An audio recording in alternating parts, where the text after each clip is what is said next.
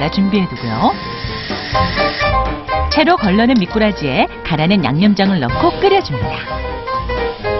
다음 삶은 무청 시래기는 쫑쫑 썰어 단맛을 내는 양파와 함께 넣어주는데요.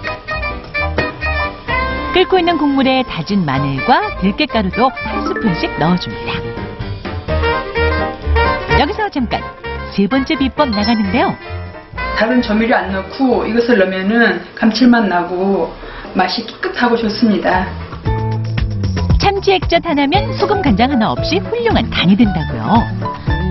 뚝배기에 소량을 덜어내 부추와 깻잎, 고추등을 얹어주고 마지막으로 특유의 비린맛을 없애줄 산초가루를 뿌려주면 완성!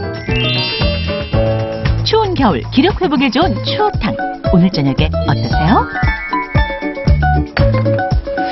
자, 그렇습니다. 이렇게 추운 겨울에 얼큰하고 뜨거운 이 매운탕 열심히 좀 끓여보고 있는데 이번에는 좀 특별한 매운탕인데 이 네. 매운탕이 바다와 육지가 만나는 매운탕이라고요? 네? 아무래도 그 화합이 중요하잖아요. 네. 그러니까 좀 바다와 육지를 만나서 소고기 낙지탕을 좀 만들어 봤어요. 아, 소고기 네. 낙지탕. 네, 네, 아, 네. 요즘 기분 좋다고 뭐 소고기 드시는 분들 많은데 네, 낙지 네. 같이 섞어서 드시면 그쵸, 좋잖아요. 맞아요. 예. 재료를 보시면 네. 여기 보면 소고기, 음. 그 다음에 앞에 낙지, 네. 그죠? 음. 그 다음에 배추잎, 좀 아하. 구수한 맛, 시원한 맛을 네. 낼수 있거든요. 그 다음에 음. 대파, 홍고추, 청고추, 음. 그 다음에 미나리, 네. 그 다음에 마늘, 오. 그 다음에 버섯, 요번에는 양파가 들어가죠. 고기가 들어가니까. 이렇게 네. 생선에는 양파를 안 넣어요. 그 다음에 아하. 버섯. 예. 이렇게 준비해 낙지는 어떻게 지금 손질을 해놓으신 거예요? 아. 낙지 손질하기가 되게 어렵더라고요. 그러니까요. 저도 좋아하는데 네. 손질법 좀 가르쳐 주세요. 자. 우리 그럼 낙지 손질을 하러 한번 가볼까요? 네, 네. 낙지 손질 먼저 한번 네. 해보겠습니다. 낙지는 음. 제가 손을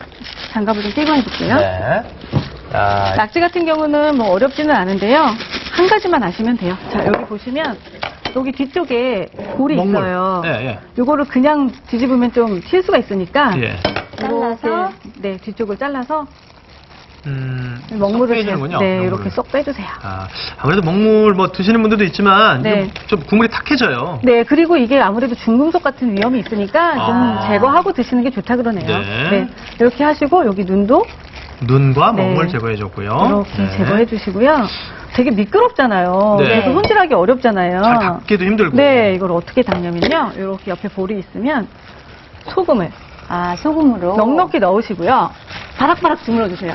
어, 소금을 넣고. 네. 어, 그러면 예.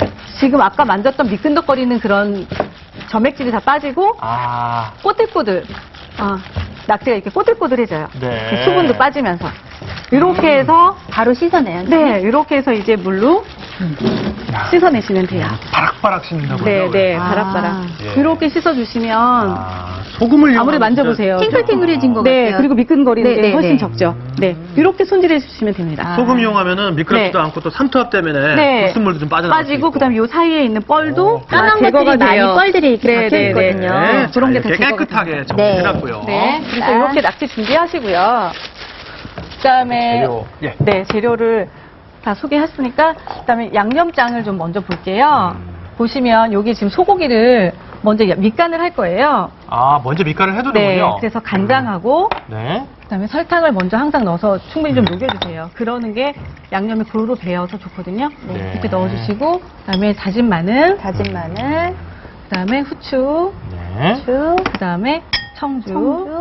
나 맛술 아. 이렇게 넣어주시고 그러니까 지금 그 낙지도 잘 깨끗하게 정리를 해뒀고 네. 소고기도 조금 양념을 미리 밑간을 해주실 건가 봐요. 네 이렇게 해서 소고기를 밑간을 좀 해볼게요. 음, 네.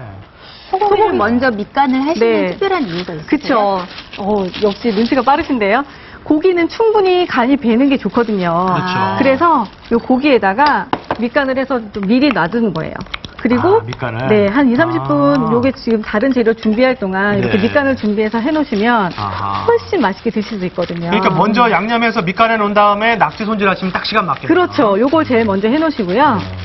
그 다음에 이렇게 준비가 됐으면 이제 만들러 가야죠. 자, 근데 이거 먼저 프라이팬을 준비하셨어요? 네, 팬을 좀 준비해서 아. 여기다가 예. 기름을 아, 소고기를 먼저 좀 네, 네. 볶아주는군요. 네. 음. 식용유를 좀 넣고 네. 그 다음에 아, 마늘을 먼저 볶아요? 마늘?